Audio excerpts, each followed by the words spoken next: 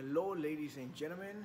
Uh, before I start the video um, just want to thank everybody for hanging on. Uh, I think that uh, I mean the uh, the channel keeps growing so I want to thank you for that. Um, I also think that um, you know coming to Texas was a really great decision and then uh, moving to Cedar Park was even much more better. Um, a little more out in the country so I'm getting more, you know, more repairs, more boots, but also shoes. Um, I uh, only been open in one week, and uh, the first week was, uh, I gotta say, was a little bit overwhelming. But um, but yeah, it's, uh, that's why I'm here. I'm here to work. So I just wanna thank you all for subscribing and watching my videos and sharing them and saving them. Um, I think that's it. I just wanna throw that out there before I start the video. So, all right. So, hope you enjoy the video. Well, hello everyone. I got another video for y'all, and today is going to be a pair of Tony Lama's fish boots.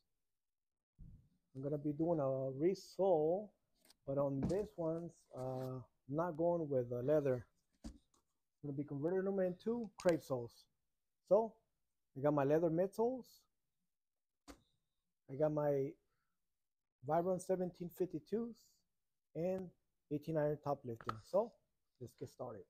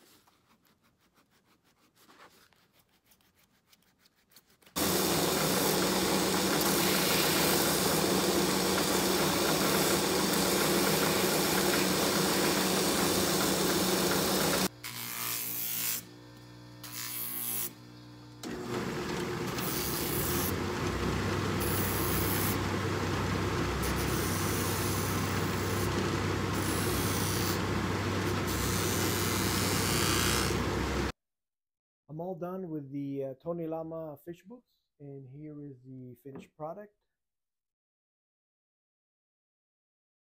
So I use uh, Vibram 1752 stock bridge, and then uh, for the heels I use uh, 18 iron to uh, give it a height, and it's for the uh, midsole. End up using a pretty nice thick leather midsole. It's about a quarter of an inch.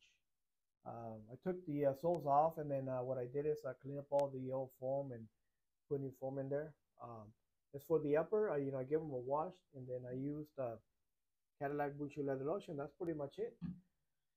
Okay, so I hope you enjoyed the video. It was a pretty fun project, like always. Get a close look. I want to thank everybody for watching. Uh, don't forget to subscribe, share my videos, and uh, oops, pretty big. Stay tuned for my next content. Thank you. Bye, y'all.